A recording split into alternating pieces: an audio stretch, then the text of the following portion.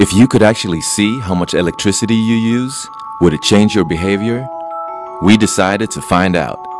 Together with E.ON, one of Sweden's largest energy providers, we created Sweden's largest energy experiment. We recruited 10,000 participants and gave them a special app connected to their homes that monitored their power usage in real time. Then, during the course of one year, we visualized their energy consumption in five different ways to see which one would make them save the most. We started off by showing their energy consumption as real money spent in real time.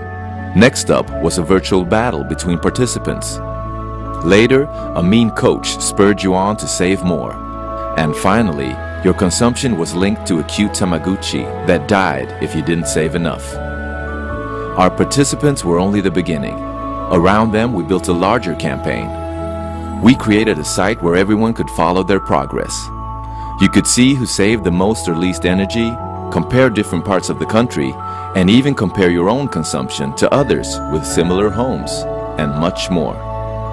As a key part of the campaign, we let everyone share their best energy saving tips, which we turned into a book, outdoor units, and even TV spots.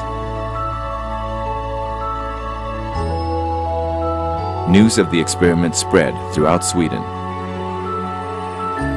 And the result?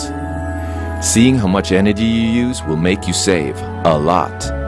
By the time the experiment was over, our participants had reduced their energy consumption by an average of 12%.